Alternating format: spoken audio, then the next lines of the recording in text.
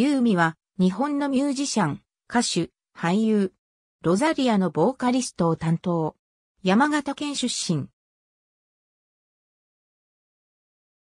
1999年から2004年、ベルセーディーズ2010年から2011年、エマージェンシー2012年から2014年、ジェニー・クレーム2015年、ロザリア2019年、ソロ活動開始2018年7月、ファースト配信シングル、シード・オブ・ラブ2019年2月、ファースト CD シングル、エクリプス2020年2月、エクリプス収録曲3曲同時配信2014年、ルローニケンシン京都大化編2016年、との利息でござる2016年、彼岸島デラックス2019年、サムライマラソン、リターンテレビ2017年、TBS、人間観察バラエティモニタリング、TBS、プレバト2019年、テレビ朝日、何これ珍百景、テレビドラマ2016年、TBS 東島ラブイズオーバー、テレビ朝日、